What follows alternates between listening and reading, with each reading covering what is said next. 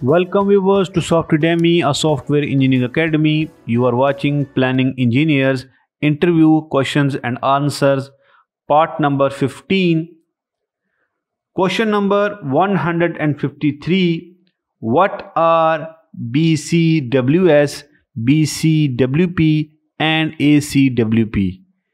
Answer These three acronyms are earned value terms that stand for budgeted cost for work schedule or planned value or PV in the PMBOK guides in my opinion I will advise neologism budgeted cost for work performed earned value or EV and actual cost for work performed actual cost or AC.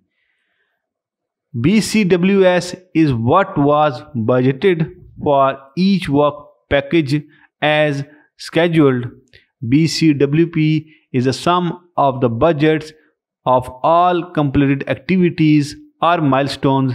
ACWP is the sum of what is actually cost to complete each of the work packages or milestones. Question number 154. What is a constraint? Answer a limitation that reduces the efficiency with which a project can be accomplished.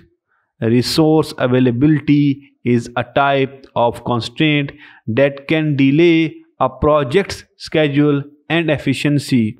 In general, constraints should not be input to the schedule until after the schedule has been optimized through critical path analysis. Question number 155 What is activity and what is WBS? Answer Activity is a task or process to be accomplished in a set period of time as part of working toward a large project goal an activity can be assigned to a resource has an associated cost. Activities are ordered with logic links. Work breakdown structure a hierarchical format for identifying displaying reports and changing project work since the WBS is the skeleton of work on which the resource, cost, schedule information is wrapped. It is the principal tool for the implementing scope, cost, schedule, integration. Question number 156.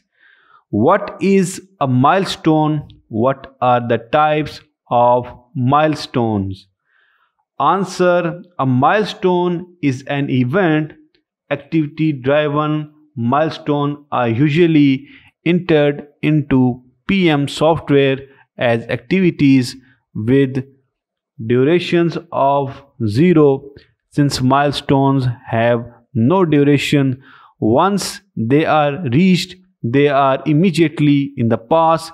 It is therefore good practice to name activities using the past participle of the verbal test component that is equal to activity component tested is equal to milestone.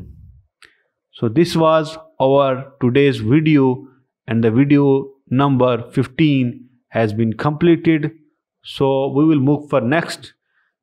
Thanks for watching Softedemy keep like comment and share we will meet in a next video.